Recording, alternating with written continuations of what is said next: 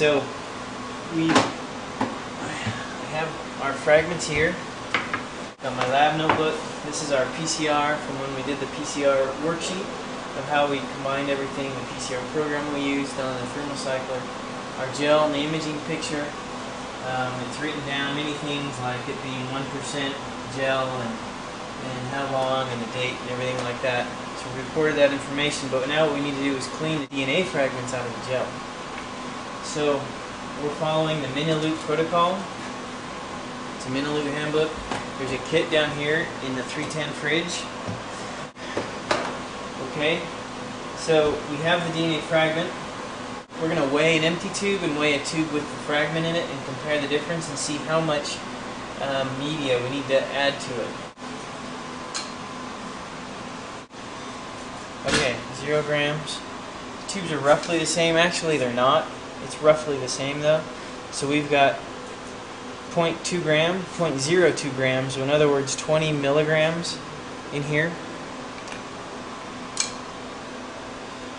30 milligrams in the other. And again, this isn't something that has to be completely precise. And, and they, we may even have a little bit more than that, but our zero was a bit high because we had some solution left in this tube. So, if that's the case, we'll say, for example, it says at 300 microliters of QG, here's our QG buffer. Make, and I've made sure, well, this one still has some crystals in it. Any buffers that we use cannot have crystals in it. This one's good. If it does have crystals, we'll stick it in um, 37 degree incubator and just leave it in there for a few hours till it warms up and the crystals, and we need to shake it occasionally and the crystals will go away. That's what we've done with this one actually because it was sitting in a box for quite some time. So this one we've already taken out of the incubator and it says we need 300 microliters of the QG to each 100 milligrams of gel. We do not have 100 milligrams. I'm going to add 300 microliters anyway and it dissolves the, the gel really well and it works just fine having extra buffer. Okay, so I'm adding 300 microliters.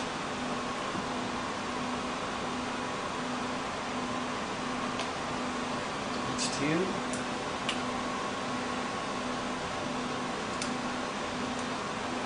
one. Now I do need to change tips mostly for the buffer. I don't want to contaminate the next person's use.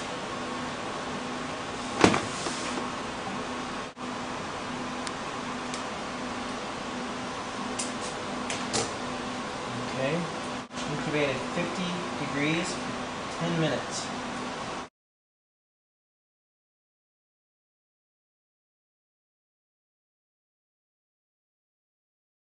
We've incubated these for 10 minutes, right? They're, the gel fragments are, are all dissolved and it's at 50 degrees.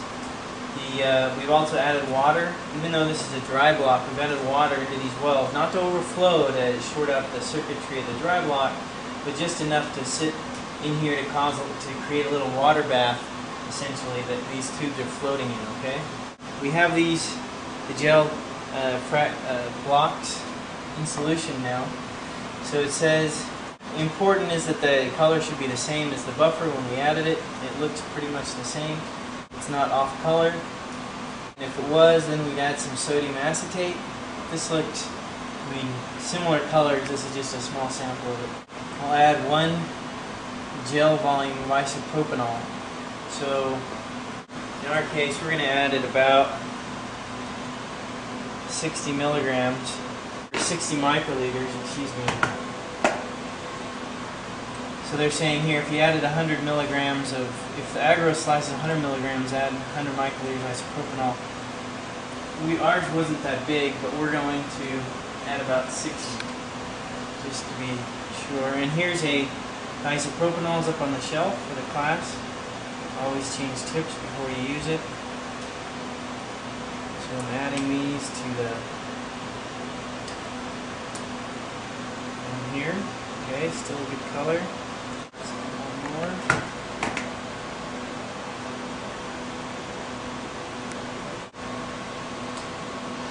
Okay, this goes back in the PWS rack here. So now we have the isopropanol added to both. place in a MinElute column. The MinElute columns are in this uh, in this box. One for each gel slice. We're going to label them.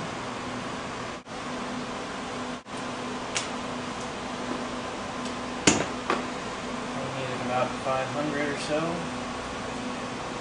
Out. This is first.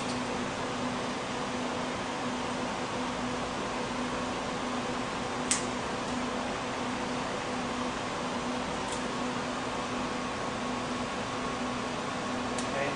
Now, if I make a mistake around here along this method, for example, if I didn't get isopropanol on the both under the one, I would expect that we would only get DNA to precipitate, we'll know in just a few minutes whether I did it right or not. The problem is, if I didn't do it right, you've got to go back to the PCR, make a gel, cut it out, and then you're back to this step again.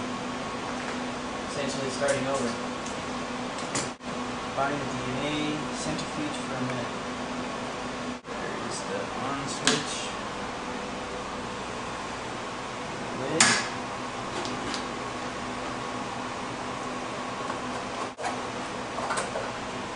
Okay. I usually put the tabs always in the same position so that the hinges, I mean, are at the top of the, are pointing upwards. So if you use both knobs, cinch that down good. And uh, we're going to do this at, doesn't really say, so max speed is fine. And just for a minute. So if we do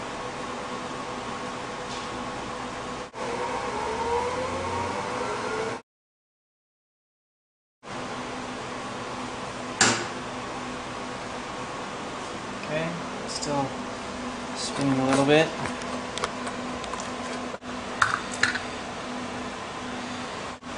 The QG buffer has gone all the way through, and the DNA should be stuck on this membrane right here, in the bottom of the column actually.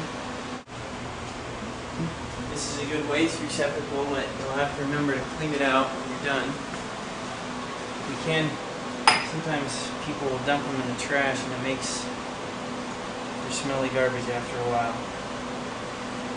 So there is the column, this lavender, lilac, whatever you want to call it, and there's also the collection tube, which is the bottom part.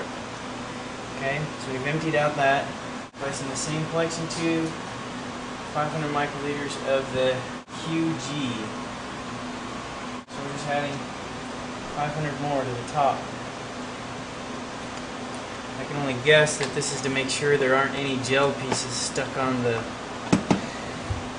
on the membrane. Okay. So now we've done now we spin again for a minute. And I'm loading these things so that the samples are in exactly opposite from each other and they're balanced because they're essentially the same tube with the same volume in it. Okay, close this, make sure it's latched, and hit start.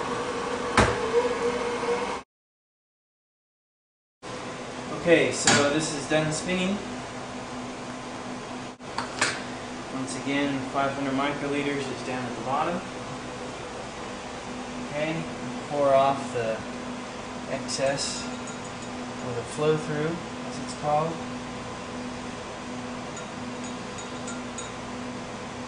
Wash with 750 microliters of PE. Let's put this on the shelf. Now I'm checking that this PE has ethanol added. This one does not yet. Um, This is the first use of it. For you guys during class, it should have ethanol added to it. One way to check is smell. No, no ethanol. So we need to add, before use, add 220 mils of ethanol. I've set the dial at 750 microliters. We've added ethanol to the PE buffer. I shook it vigorously to mix. Now I'm adding this wash buffer. As it's sometimes called, to the columns. Take these and we spin again for a minute. So we with the ethanol for the PE buffer. Once again, we discard the flow through. So what the book means is that we put in 750. It's still, it's beneath where the lilac column reaches, but occasionally just pulling it out and things and of the centrifuge you might tip it and get uh, get some of the PE buffer up back into the column. So what they re request or instruct users to do is to, after dumping out the PE buffer, the wash buffer, that we centrifuge again for one minute to dry the column completely. Alright, so we spun it for a minute. The column should be very dry. Now we need to place the MinElute into a clean 1.5 mil microcentrifuge tube and add 10 microliters of EB buffer to elute. And there's a whole bunch of other things that you could can read on your own in the protocol, but that's what we're going to do. Okay, so I found some these lilac or rose-colored tubes here. When you get tubes out, make sure you're wearing gloves. What we need to do first, we've labeled the columns, but we need to label the tubes. Because once this is done, we essentially throw the column away, because we get the DNA off the column. And uh, if we forget which is which, easy thing to do, you may not be able to remember which sample is in which, has been eluted into which tube, but now we can. So now when you get the EB buffer, we need 10.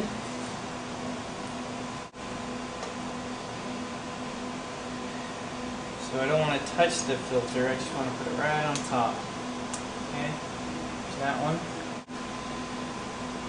So one of the most important parts of this protocol is to, uh, well, it doesn't matter, it, yeah, try not to touch the membrane, because one of the most important parts is now waiting a minute.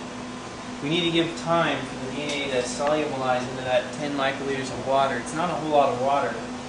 Um, it's enough, but it just needs some time. Uh, the book recommends letting it stand for a minute. Um, a couple minutes isn't bad either. A minute is sufficient, but uh, if you happen to forget the time or whatever and want to wait an extra minute as you time it, then uh, that's fine too.